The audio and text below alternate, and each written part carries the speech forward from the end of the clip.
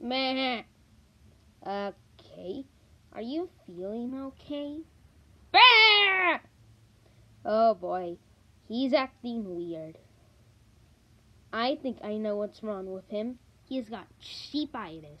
Sheepitis? Yep. And I know the way to cure sheepitis. You do? Mm-hmm. Alright. When White takes care of that, we'll go on to the next take, which is take 17. Ch-ch.